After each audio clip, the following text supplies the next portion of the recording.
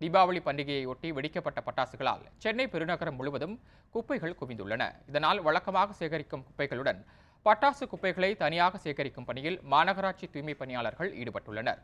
சேகரிக்கப்படும் பட்டாசு குப்பைகள் குப்பை கிடங்கிற்கு அனுப்பப்படாது என்றும் கும்மிடிப்பூண்டியில் உள்ள அபாயகரமான கழிவுகளை முறைப்படுத்தும் செயலாக்க நிலையத்திற்கு அனுப்பப்படும் எனவும் மாநகராட்சி நிர்வாகம் தகவல் தெரிவித்துள்ளது. புதுக்கோட்டையில் தூய்மை பணியாளர்களை ஊக்கப்படுத்தும் வகையில் சட்டமன்ற உறுப்பினர் முத்துராஜா மற்றும் நகர்மன்ற தலைவர் திலகவதி செந்தில் ஆகியோர் கீழராஜ வீதியில் தூய்மை பணியை மேற்கொண்டனர். ராஜவீதி மேலராஜ வீதி உள்ளிட்ட நகரின் பல முக்கிய வீதிகளில் மலை போல தேங்கிய குப்பைகளை தூய்மை பணியாளர்கள் அகற்றினர். இதனால் வழக்கமாக புதுக்கோட்டை நகராட்சியில் ஒரு நாளில் எழுபது டன் குப்பைகள் சேகரிக்கப்பட்டு வந்த நிலையில் தீபாவளியான நேற்று ஒரே நாளில் நூற்று அறுபது டன் குப்பைகள் சேகரிக்கப்பட்டன.